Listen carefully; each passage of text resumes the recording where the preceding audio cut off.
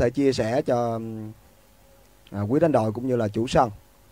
Vì tội ba ba ba. Bị trương văn tiên băng vào căn phá đồng sang đã cướp được bóng. Phối hợp cùng với hồ bình. Hồ bình làm gì đây? Ba ba ba. Âm vào vũ phòng ba cô phản công dành cho bình lửa bình lửa chắc bóng. Bình lửa có thể dứt điểm hay không ba ba ba ba. Xin cảm ơn trần tấn tài. Cảm ơn pha nhỏ chào giả nha. Ba ba ba cố lên hữu bình ngô bên phương. Trung kiên. Thành trơn vô vô vô. Đầu đưa thái vũ vô thay bình lửa đi chờ cái mà xíu đi. Thành trơn thành trơn vô vô vô.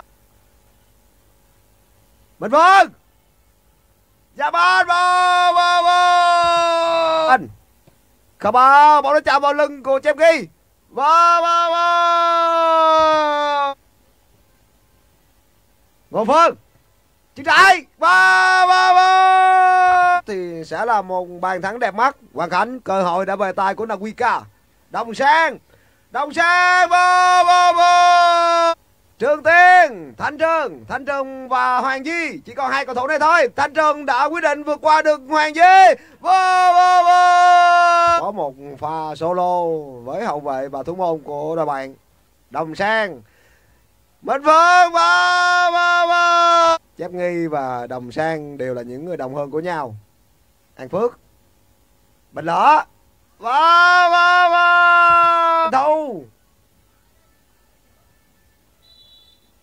Vâng, một số anh em nói bây giờ là hết nổi thai rồi thì thầy Bảy sẽ cho các anh em được nghỉ ngơi.